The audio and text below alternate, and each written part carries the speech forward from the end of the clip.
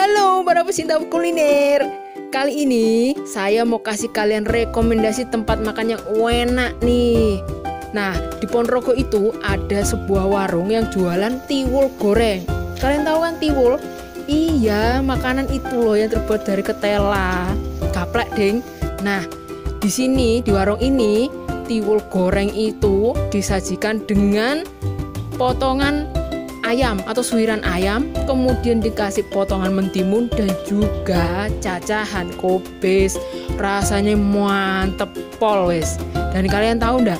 Itu tiwul gorengnya itu misalnya di sendok itu bisa kempiar gitu loh. Jadi nggak nggak lengket-lengket gitu tapi kempiar. Wes pol kalian mesti coba. Untuk harganya setiap makanan yang ada di warung ini dihargai 12.000 per porsi. Untuk minumannya 3000 satu gelas. Nah, buat kalian mau nyobain, buruan kalian datang ke depan Kejaksaan Negeri Ponorogo alias Jalan MT Haryono. Oke guys, yuk cobain yuk.